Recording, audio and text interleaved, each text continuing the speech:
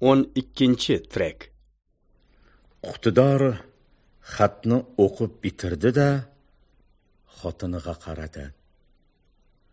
Oftob oyimga bu xat muzlik suvga sho'ng'itib olish ta'sirini bergan va o'ltirgan yerida sirra bo'lib qotib qolgan edi.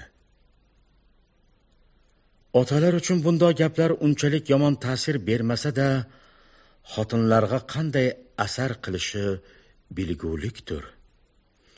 Oftob oyim uchun go'yoki qizining biror aybi uchun bu ishga majbur bo'lingandek kumush esa endi eriga suyumsiz ishdan chiqqan va burchakka tiqilgan uvadadek bo'lib ko'rina boshlagan edi. Maktubni eshitgan quloqlari yanglish eshitgandek bo'lar edi. Tag'in o'qib ko'ringizchi. Qaytarib o'qishning foydasi yo'q. Xatning maqsadi sen anglagandek qizim ustiga kundosh qutidor qafasga solingan qushdek urinmakka olgan xotinni bosmoq bo'ldi.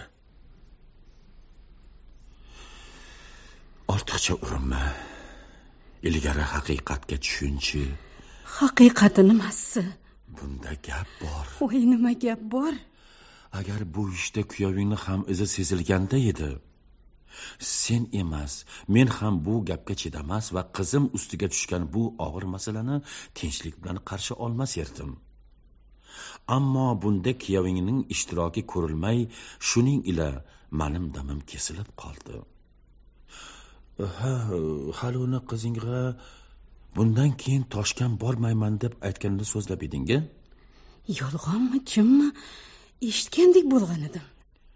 Eshitgandek bo'lgan bo'lsang ham bu so'z chindir. Nega desang xatning mazmunidan ham anglashiladirkim bu ikkinchi uylanishga otabek butunlay qarshi bo'lib faqat bu gap qudalaringni ishlaridir. Shuning uchun kuyovingning uylanishini qizing ustiga chin ma'nosi bilan kundash deb bo'lmaydir.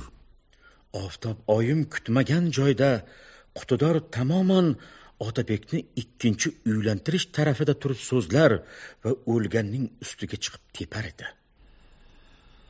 Agar otabek bu ikkinchi uylanishga rizo bo'lsa edi birinchidan ruxsat olish uchun marg'ilonga kelib yurmas.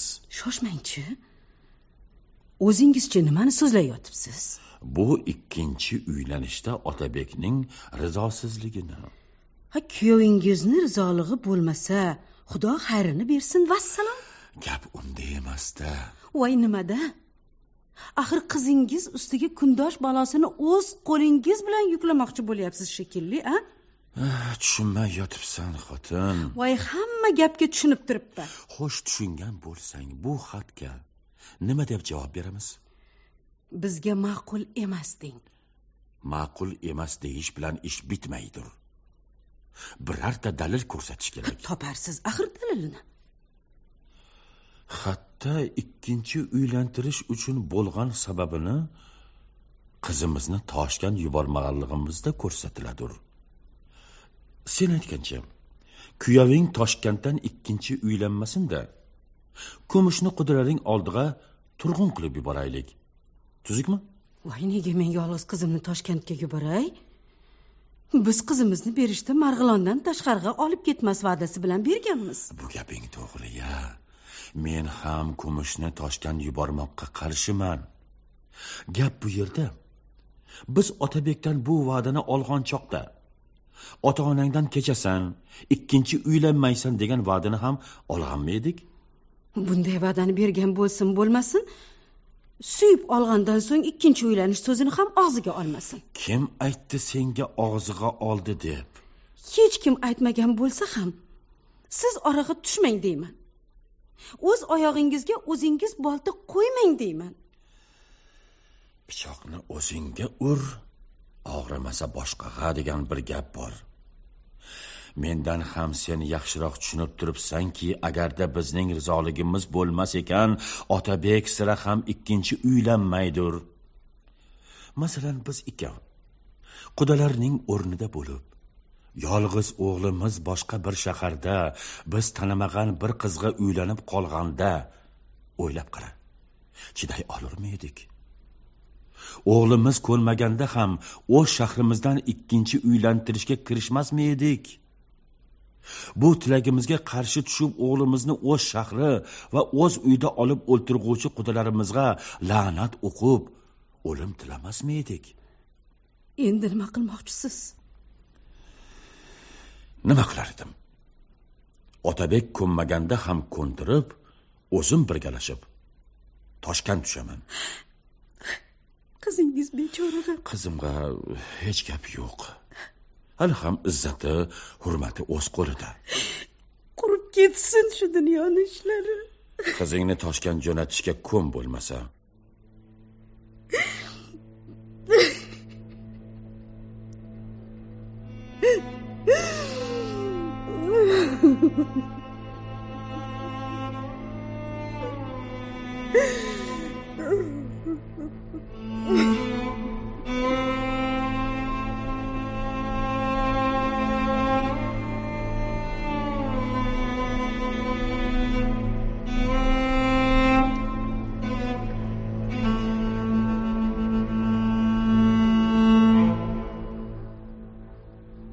qayin ota qayin ona kuyov.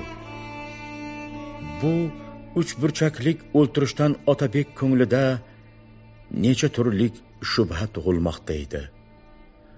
Bu odatdan tashqari chaqiriq nega mehmonxonaga bo'ldi? Nega kumush bu o'ltirishga chaqirilmadi? Qaynonasi nega unga termulib boqadir? Qutidor tomondan shu orada ul kutmagan bir savol ham tashlanib qo'yildi. Otabek uyalmay tortinmay javob beringiz. Bu gal toshkentdan chiqishingizdagi asl maqsadingiz nimaga edi? O'zim sizlarni ko'rish uchun to'g'risini so'zlangiz bek. Aytdim-ku. To'g'ri aytmadingiz. Toshkentdan chiqqanimdagi maqsadni so'zlash sizlarga bir behuzurlik berganidek o'zimga ham og'ir.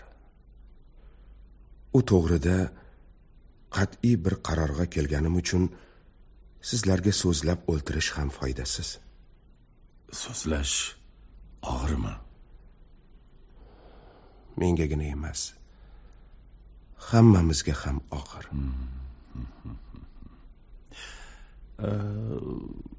Agarda biz rizolik bersamizchi? Erining bu jasoratiga qarshi oftob oyimning yuziga rizosizlik belgusi chiqdi otabek ersa seskanib uyqudan uyg'ongandek bo'ldi va ikkilanib so'radi. Siz nimaga rizolik berasiz? Bu gal toshkentdan nima maqsadda chiqqan bo'lsangiz o'shanga toshkentdan nima maqsadda kelganimni bilasizmi? Bilamiz bilamiz. Sizni bunday ishga rizolik uchun kim va nima majbur etadir hech kim. Hech kim majbur qilmaydir majbur qilgan narsa shunday kunlar uchun o'g'il o'stirgan ota onaning rizoliqlarigina balki sizni ham shu gap majbur qilar otam bilan onamning rizoliqlari uchun shundan boshqa sabab qurib qolganiga nima deyishimni ham bilmayman. Garchi garchi toshkentda ekan chog'imda bir rizoliq yo'liga bel bog'lagan bo'lsam ham endi bu bel bog'lashni butunlay o'rinsiz bo'lganiga tushundim. Oftoboyim oz qoldiki to'g'ri deb qichqirsin. Ammo qutidor xotiniga xumrayib qaradi. Qisqaroq o'ylaysiz otabek. Otangiz bizga murojaat qilmaganda edi. Biz bu ishda betaraf qolsak bo'lar edi. Hozirda biz ham sizning so'zingizga qo'shilsak siz emas yomon otliq biz bo'lamiz. Uning mulohazasini qilmang. Nega qilmaylik? Hamma aybni manim ustimga yuklab javob yozingiz. Toshkentda ekan chog'ingizda. Otangizni taklifini qabul qilgan edingizmi? Qabul qilgan edim. Bizning ruxsatimizni olg'ali marg'ilonga ham kelgan edingiz. Shundoqmi? Shundoq. Barakalla. Marg'ilonga kelib bu gapdan aynidingiz a aynidim endi toshkentga marg'ilondan ayrib borasiz. Mana. Mana ko'rdingizmi? Faqat bu ishda bizgina yomon otliq bo'lamiz. O'zingizni shu xatongiz uchun ham bu gapni qabul qilmoqqa majbursiz otabek nima deb aytishdan ojiz qoldi? Va o'zining bolalik harakatidan seskandi va hijolat orasida so'radi. Otam sizga qachon xat yozgan edi? Kecha oldim. Demak ko'ndingiz. Men bu gapga durustlab o'ylamasdan javob berolmayman.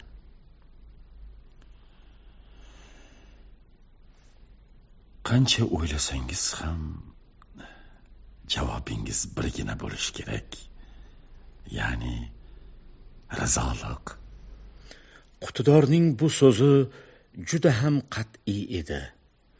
Bu qat'iyatni anglag'uvchi ko'nglidan chiqarayozgan bu masalani chinlab o'ylamoqqa majbur edi nima bo'lganda ham ko'nglining bir chekkasini kirlatib yotgan bu ota ona orzusi bir tomondan qaralganda juda yengil ko'chgan edi.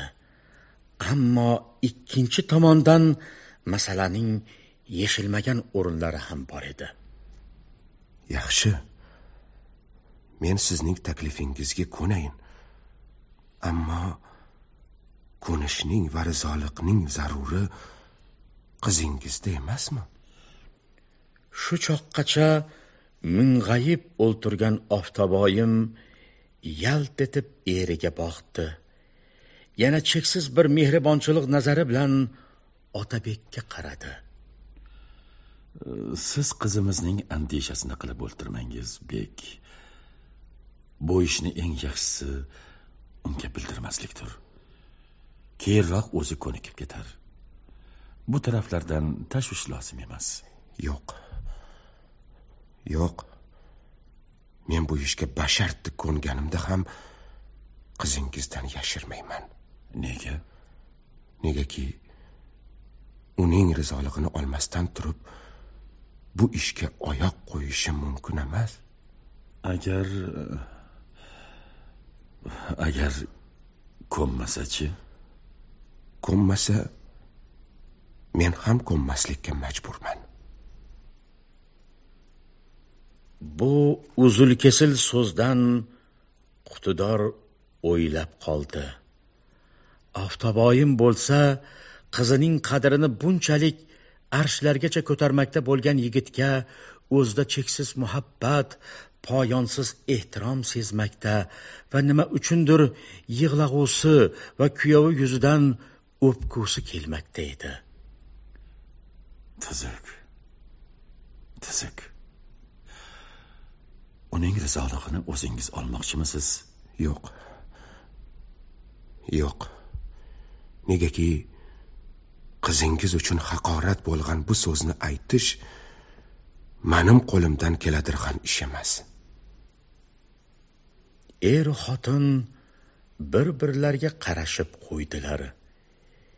Keyingi so'zni aytib bitirgach otabekning ko'ziga yosh kelgan edi. O'zining holidan uyaldi shekillik ularning oldidan turib tashqariga chiqdi. U chiqqandan so'ng eru xotin yana yarim soatcha janjallashib o'ltirdilar. Xufton namozdan so'ng yangilangan tashvishlarni biroz unuttirar umidiyla poychiroq yonig'a o'ltirib fuzuliy devonni varaqlarida. Ammo Fuzulining rang barang she'rlari ustida qanoatlanib to'xtamas hamon varaqlagandan varaqlar edi. Shoirning nafis she'rlari hozir uning uchun tuzsiz so'zlar yig'indisidan boshqa bir narsa ham emas edilar. Ul shu vaqt to'sindan kitobni yopdi da ayvonga quloq soldi. Chunki hozirgina so'zlashib o'ltirgan kumush bilan onasining tovushlari o'chgan edi. Ul bu holdan shakllandi ayvondan ona bolaning qayoqqadir yo'qolganlarini payqag'ach tusida o'zgarish bo'lgani holda qaytib kelib o'ltirdi. Nima uchundir hozir unda biror fojiaga tushguvchining holati bor edi. Kishi iztirobga tushgan kezlarida tilab emas ixtiyorsiz ba'zi bir yo'sinsiz ishlarga urinadi. Shuningdek ul ham jiddiy bir ravishda fuzuliy mutolaasiga berildi. Ul o'zining shubhasidagi gapga qone oradan yarim soatlab emas bir soatlab vaqt o'tib borgan bo'lsa ham bu unga zerikarlik emas. Tez kelgandan kelmagani yaxshi. Yaxshilikmi yomonlikmi haytovur bo'ladirg'an ko'ngilsiz gapni kechikkani yaxshi. Fuzuliyni yaxshilab o'qish kerak. Shuning uchun ham ma'nolik she'rlardan boshini ko'tarmaydir da go'yoki aytarsiz kitobga mixlangan.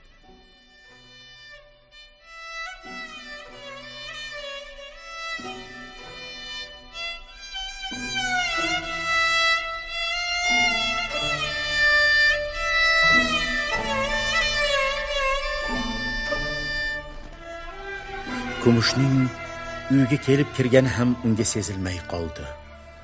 Ul qushlar kabi latif tovush chiqarmaslik qilib gilam ustidan yurib keldi da sekingina sham yonig'a otabek qarshisiga o'ltirdi.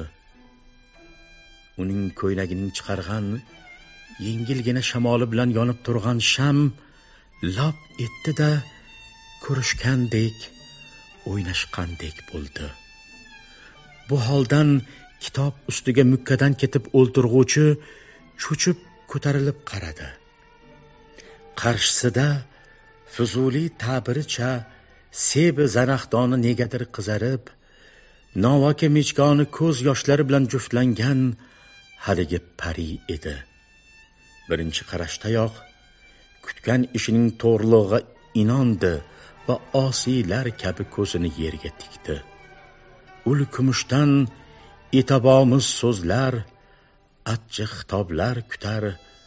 Birinchi itobdayoq ota ona gunohiga tavba qilishga hozirlanar edi. Ammo ish ul kutgancha chiqmadi. Kutilmagan joyda go'yoki uni bu og'ir holdan qutqarmoqchi bo'lgandek fuzuli yaxshi kitob. Men ham yolg'iz qolgan kezlarimda bu kitobdan boshimni ololmas edim. Sizammi?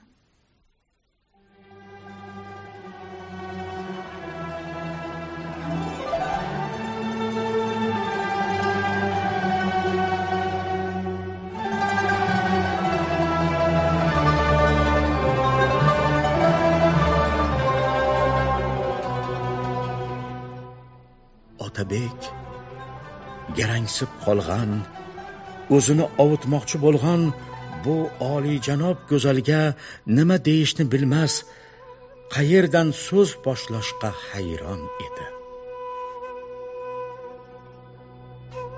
Kim yig'latdi sizni? Yig'labmanmi? Ko'zingiz kiprigingiz. O'zi shunaqa yig'latgan. Men emasmi?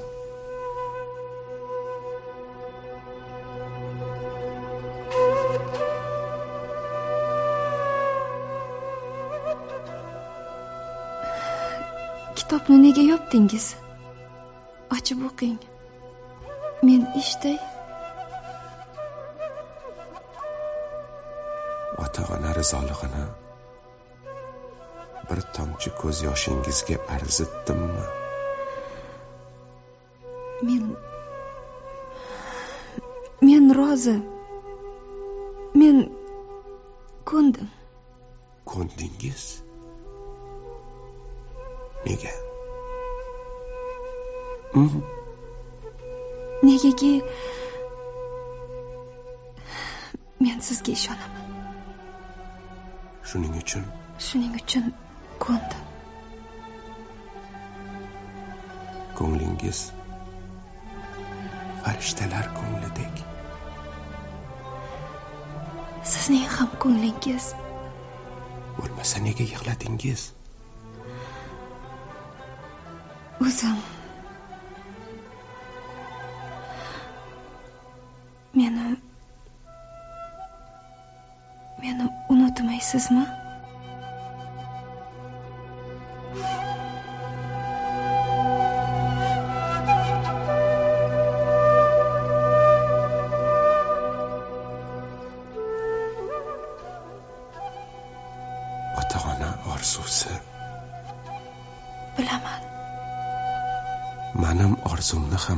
bilasizmi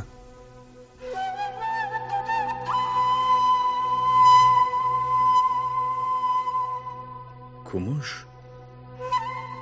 otabek yaqiniga surildi va tirsaklari bilan uning tizzasiga yonboshlab erkalandi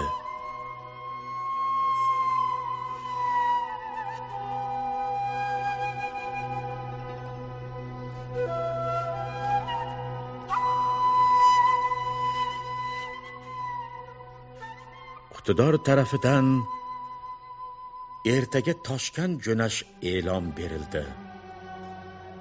Ikkisining ham vaqtlari sham yonida so'zlashib kechdi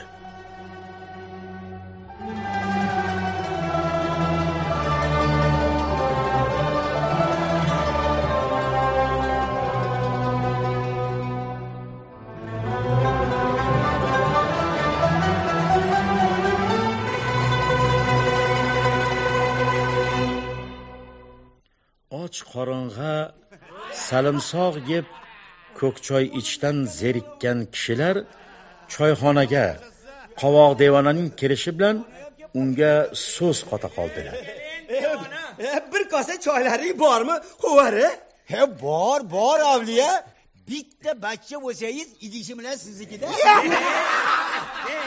Qovoq devona deganimiz o'rta yosh siyrak soqol qotma kun issiqligiga qarshi o'chakishgandek boshig'a eski telpak egniga paxtasidan boshqasi to'zib ketgan gup chopon kiyib yangi bo'z belbog'ni besh olti aylantirib bog'lagan va unga besh oltita chilim qovoqdan tortib to suv qovoq nosqovoq va tomosha qovoqlargacha osgan qovoqlarni og'irlig'idan arang harakat qiladirg'an o'z zamonasining mashhur bir devonasi edi. Bu devona toshkentning barchasiga ma'lum. Beklardan boylardan qisqasi shaharning katta kichigidan o'zga ixlosmandlar orttirgan va ko'plarning tarafidan qilgan karomatlari rivoyat etilgan bir majnun edi. Shahardagi har kim uning oshnasi karomati bilan beparvo bo'lganlar ham uning qiziq harakatlariga va tutal so'zlariga qiziqar edi bu choyxonadagilar ham shu keyingi sinfdan edilar. Birorta ixlosmand qo'lidan boplab tomoq yegan bo'lsa kerak hozir o'shani chanqog'ini bosmoq fikrida edi.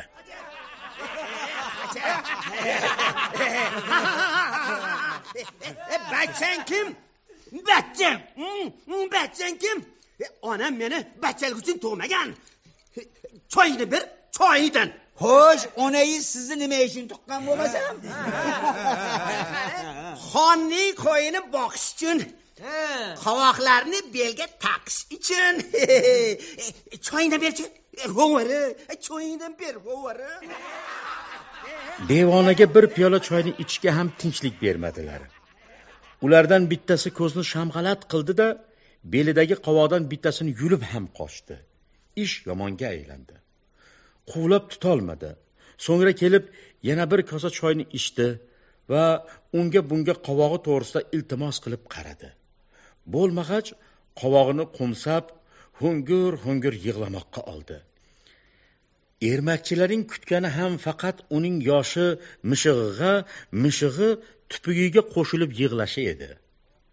Qovoqni yulib qochgan tomdan kelib supaning ustidagi so'riga qovoqni osdi va o'zi tushib devonani yonig'a keldi. Qara qara qara qara qara qara qara hey. Qovoq o'g'risini ushladingizmi devona? Ha? Yo'q uka yo'q. Qovog'imdek shu bo'lsin.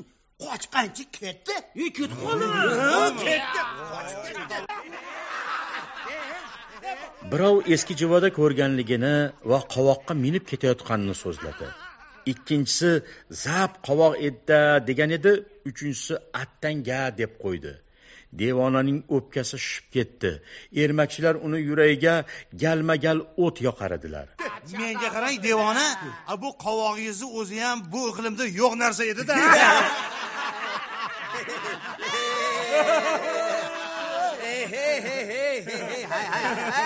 ey dadam musallas qovoq oyim mosh qovoq o'zlari shu o'zlari men bel qovoq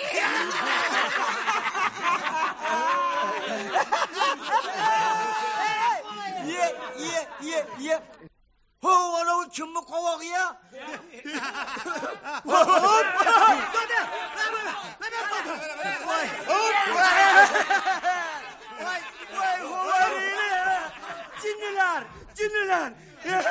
Vay gidiyor kovarılar. Kovarılar. Demeler kovarılar. Ha tüzlük tüzlük avlıya. Kovağızı çürüp yersem nima berasiz? So'raganingni ol so'raganingni ol jinni jinni. Oyim qishlog'iga bek bo'l. Tentak tilla jabdug'lik osmin jinni voy men oyim qishlog'ini bekligini uddasidan chiqolmayman qovoqlaringizni kasbini aytib bersangiz bo'ladi menga. Devona bu shartga ko'ndi. Qovoq tushirilib devonaning qo'liga eson omon tegdi mahbuba ortiqcha bir ehtiyot va e'tibor bilan belga boshqa yo'ldoshlari yonig'a tugildi. Mayli mayli manov mana. Mana mana manov musulmon cho'loq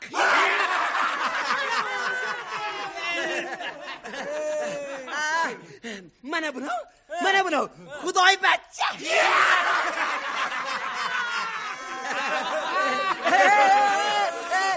mana mana mana mana mana. Mana bu? Norkalla.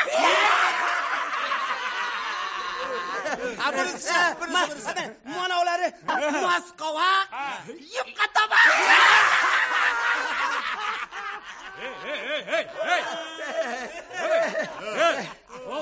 to'xtang to'xtang. Bir gap bor. Mana u belingizdagi belbog'ni qayerdan o'g'irlab oldingiz? O'g'irlaganim yo'q. O'g'irlaganim yo'q. Qo'y qo'y qo'y tegma.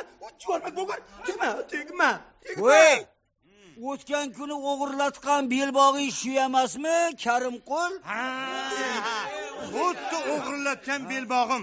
Mana tutdik o'g'rini Daddy, give me a hug! Daddy, give me a hug! Yo'q xuddi meniki shu. Yesh hozir bo'lmasa mirshab chaqiraman yo'q yo'q yo'q yo'q. Chaqirmang chaqirmanglar chaqirmanglar. Uvaringni nima deydi bu?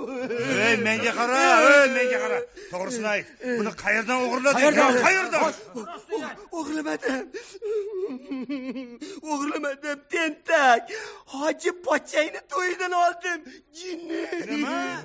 Hoji pochchangni to'yidan oldim jinni toshkentda hojipochchadan ko'pi bormi? Aya o'g'ri. nima? balo hoji pochchangni tanimaysanmi tentak o'sha hoji pochchada jinni. Hali yusufbek hojichi. Axir o'sha o'sha to'y qildi. To'y bo'ldi. Bazi bo'ldi. O'g'li uylandi qo'y juvonmak qo'y edi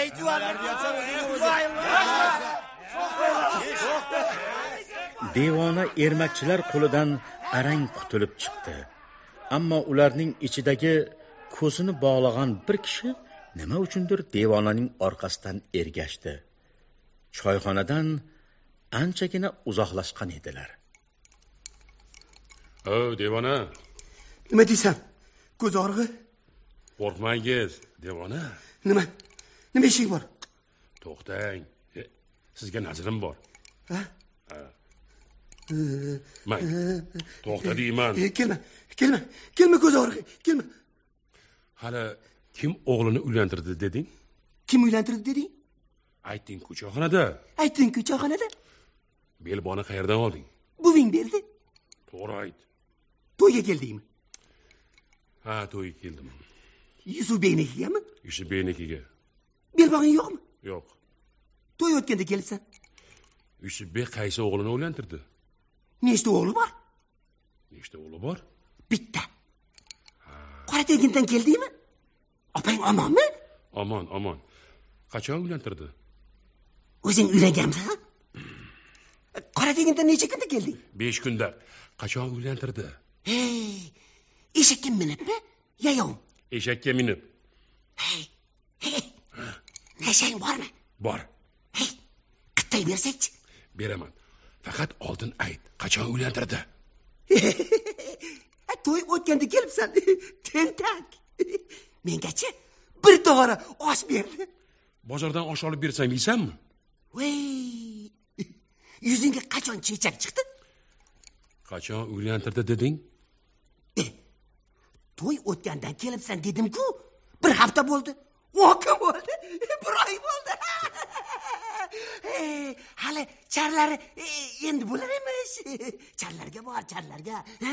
Hey, qora tegin toshkentdan uylantirdimi? Ahmoq. Toshkentdan bo'lmay. E, qora tegindan uylantirarmidi